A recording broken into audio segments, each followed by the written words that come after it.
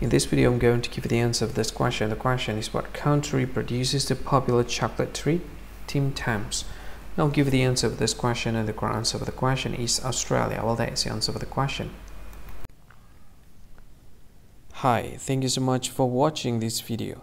If you find this video is very useful, you can help this channel to grow by subscribing this channel. Please this subscribe button and don't forget to like this video. And if you find this video is not really good or you don't really like this video or you kind of feel that it's a little bit offensive or something like that, you can click this one, dislike button. You can do that anyway.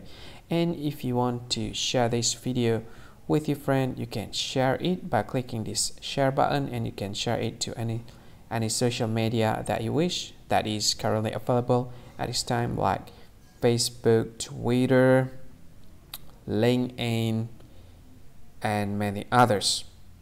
Right? And if you want to add this video to your playlist, you can click this one. You can watch this video later and you can find more options by clicking these three dots. And yeah, don't forget to subscribe. I think that's all of it. Thank you so much for watching this video and see you again in another video. Bye bye. See you again.